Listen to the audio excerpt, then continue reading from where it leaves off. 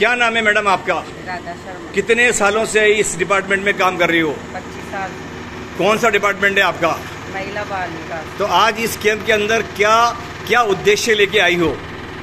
सबका सहयोग होगा सबके काम होएगा। सबका काम होगा सबका सहयोग होगा। सारे ऑफिसर एक ही मुकाम पर हैं। बहुत बहुत धन्यवाद बहुत बहुत धन्यवाद। अब मैं अब मैं मेरा कैमरा इन बहनों की तरफ़ से उस टेबल की तरफ़ ले जा रहा हूँ, जिस टेबल के ऊपर ये पशुपालन विभाग काम कर रहा है। ये देखिए आप, ये आप देखिए, ये आप देखिए, ये हमारे ये हमारे विष्णु जी हैं, जो लैब टेक्नीशियन का काम अंजाम दे रहे हैं। ये हमारी बहनें हैं जो ये जाँच करवा रही है।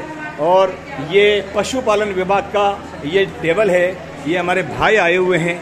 तो मैं इन सब भाइयों को भी दिखाता हूँ। देखिए, ये हमारे भाई बैठे हुए हैं। ये सब हमारे भाई बैठे हुए हैं। मैडम इज़ वर्किंग और ये पशुपालन विभाग की टेबल है। मैडम या कोई भी भाई मेरे कैमरे के सामने दो शब्द के लिए आ सकता है? बताइए who is coming who is coming you you सीधे हो जाइए एक मिनट के लिए। क्या नाम है आपका? मंजूर अली। मंजूर अली किस डिपार्टमेंट से हो? वेटनरी डिपार्टमेंट वेटरनरी डिपार्टमेंट से। आपको इस कैंप में आने का उद्देश्य बताइए।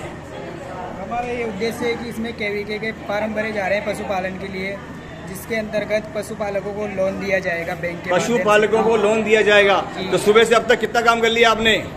लगभग साढ़े तीन सौ फॉर्म भर चुके हैं। साढ़े तीन सौ फॉर्म भर चुके हैं। ग्रेट मुबारकबाद। मुझे इतना बड़ा काम किसी भी टेबल पे नहीं मिला है।